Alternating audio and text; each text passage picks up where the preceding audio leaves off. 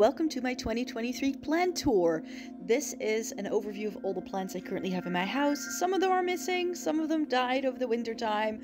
I definitely need to do some repotting and reorganizing of all of my plants, but it had been a while since I showed everyone what was going on in my little plant family.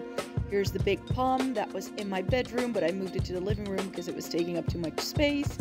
And I definitely have a couple of nice little nooks where I have some of my plants all gathered together and they're living their best life. Um, some of these I've had for years, um, others have been with me for a shorter amount of time.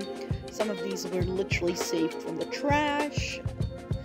I get my plants from pretty much everywhere, and as you can see, I've got quite a few, and yeah, I just love a good plant. I definitely need to spruce things up again for the spring summer season.